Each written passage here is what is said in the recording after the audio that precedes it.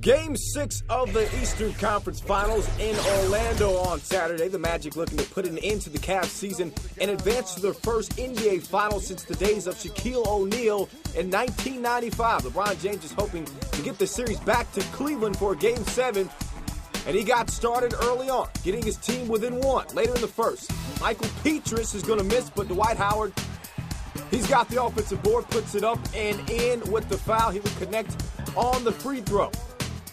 In the waning seconds of the first, LeBron's going to miss the three, but fouls his own shot, doesn't get boxed out, and gets it to go. All of LeBron's 13 first half points came in the first quarter. Dwight Howard also a huge opening quarter with 13 of his own. Second quarter, with the big stars on the bench, who would step up for the ball club? Rashard Lewis has been doing it all series long, 18 points in the game for him. Things ugly for the Cavs. Mo Williams picks up his third foul of the game, then they couldn't hit a shot. Wally Szczerbiak with the miss. And then it's Boobie Gibson, all rim there. 47 34. Orlando scoring on the other end. Dwight Howard, a monster in the paint. It's a 15 point game, a playoff high 21.6 boards in the first 24 minutes for Dwight. Towards the end of the half, LeBron driving. His coach thinks he uh, got fouled, has some things to say, and gets teed up. 19 point game in the third now. Mo Williams starting to pick it up a bit.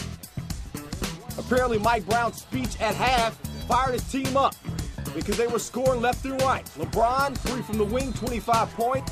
Magic's lead cut to 11 a minute into the third quarter. Coach, what's up? It doesn't go up right now. We're going to be in trouble. Now let's go.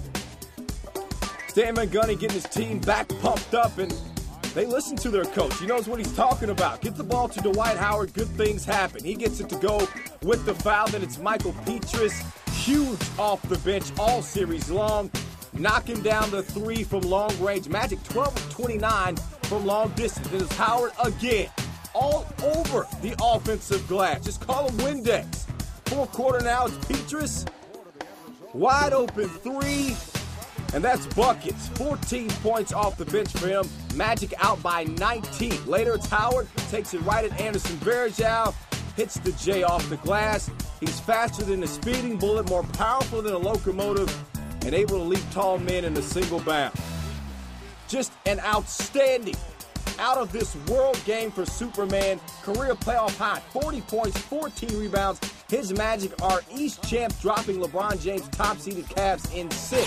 Orlando heads to the NBA Finals for the first time in 14 years, set to tip off with the Lakers at Staples on June 4th.